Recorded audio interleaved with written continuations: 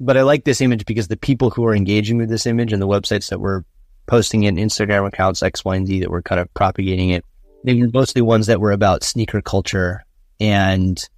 you know, rap and hip hop.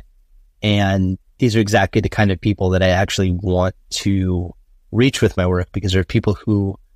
have all the capabilities to be informed about the invasion of Ukraine, but are probably choosing not to. And if I can say something about fashion in the context of conflict, it can be a vehicle, a sort of Trojan horse to create greater awareness and conversations with people who otherwise would choose not to be aware.